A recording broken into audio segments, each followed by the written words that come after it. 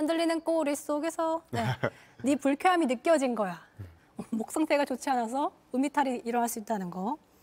이게 흔들리는 꼬리 사실 생각했을 때는 어 얘가 나를 좋아하나 보다. 반가운가 보다 싶은데 이게 아니라는 거잖아요. 네, 제가 그래서 항상 그 강의할 때나 우리 보호자님들한테 말씀드릴 때 반갑다고 꼬리치며 멍멍멍 노래가 다 망쳐놨다고. 아, 네. 예, 꼬리를 흔든다는 것에는 정말로 많은 의미가 숨어 있는데 어, 우리 사람들은 되게 단순하게 생각해서 꼬리가 흔들리면 반갑다는 거고 나는 날 좋아하는 거구나 하면서 다가갔다가 사고가 나는 경우들도 어, 상당히 많거든요. 어. 그래서 꼬리는 되게 여러 가지를 우리가 종합적으로 판단을 해봐야 되는데 우선 첫 번째가 높이. 높이는 이 자신감입니다.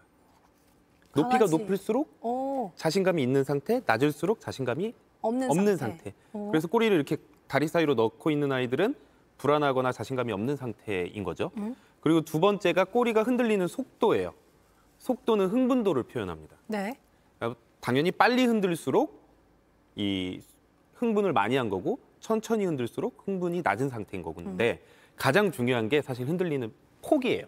오, 선생님 근데 폭이 강아지가 이렇게 올 때 저희가 폭을 어 이거는 약간 양옆으로 한 5cm, 10cm야. 이건 한 20에서 40이니까 이건 아닌 것 같아. 이렇게 할 수는 없잖아요. 아 근데 보여요. 이게 보시면 폭이 좁은 거는 약간 이제 부정적인 아. 심리 상태.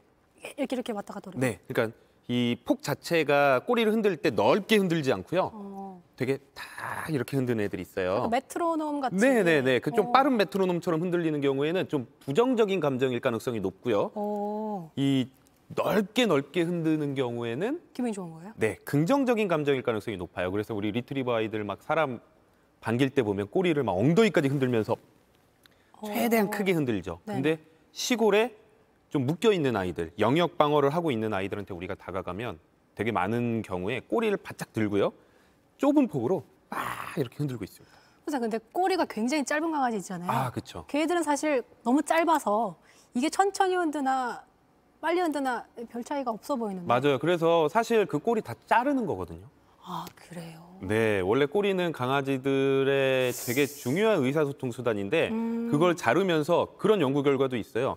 꼬리 꼬리를 자른 강아지들이 다른 강아지와 소통이 좀 덜 된다. 아 소통할 수 있는 창구가 좀 네, 줄어드니까. 싸움이 더 일어난다거나 문제가 일어나는 경우가 더 많다 이런 연구 결과까지 있어요. 아, 꼬리 하지만 그래서 꼬리를 좀 잘 살펴봐야 된다. 꼬리를 흔든다고 마냥 날 좋아하는 것이 아니다. 네, 그렇죠. 그래서 무조건 다가갔다가 물림 사고를 당한다거나 사고가 나는 경우도 있기 때문에 음, 어, 우리가 꼬리 흔든다고 다 좋은 거다라고는 절대 생각하면 안 된다. 어. 네.